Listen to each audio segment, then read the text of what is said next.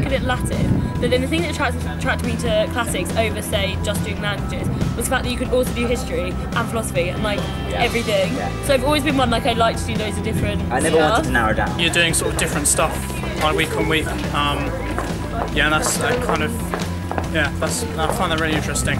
I didn't have to narrow myself down to history, art, literature, language. I could just do all of them, and I still can in my fourth year. And I was like, how can I do the most subjects under one heading? It's like mm. classics, you still do kind of linguistics, which is basically just science. Yeah. That was a new thing for me. Kind of literature, languages, art, philosophy. It's kind of mm. it's the broadest kind of humanities degree you can do. They give you the opportunity to um, explore whatever interests you about the ancient world.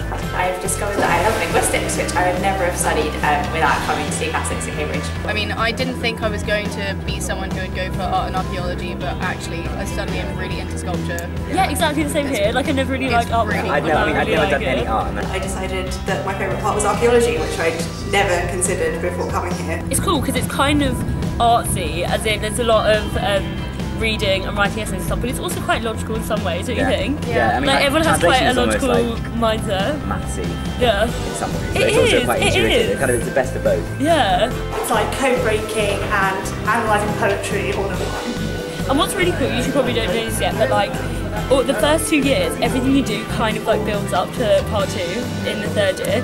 So you know, so you do like such a wide range, and then you can kind of pull in bits from all over. Yeah, Yeah, Um, I was, even I was the other day, I was having a look at like some of the option papers, and I just kind of assumed they would still be like literature based for, for, for last year. And then I saw things like the X papers or Z papers or whatever. They, X they look papers are the coolest they look ever. so cool. Yeah, do one. It's like Which one are you doing? In human. No, art of care. Okay, that's what, what's Yeah, called, sorry? art of care. Art of Care. It's like quite good, but Okay. I prefer my other ones. Okay.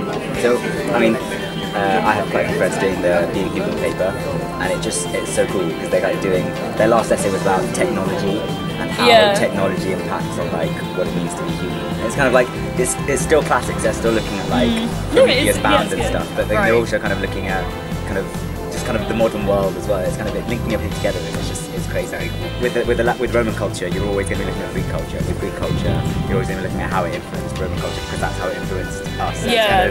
Kind You've Yeah. got that two-way street that you have to work. So many people always say, oh, you know, Greek is better than Roman or something like that, but I can't separate them. That, Yeah. that, like, even though I'm doing Latin, I still can't separate it that much. Everyone's like, which one are you going to choose? You're going to choose one for your part two. And I'm Yeah. like, I don't really want to. I want to kind of keep doing both. Yeah. Have you specialised in one? No, I do one Greek literature one Latin literature, so That's nice. both Kept still going. going, Nicely Odyssey done. and Ovid. So- Oh, you do the Met Oh, paper. gonna do Yeah. I'm really excited to do the Met. I, I kind of want to do the Metamorphosis. I want to do It's all great. the papers. Really. I Yeah. just, Just you have to choose classics. four.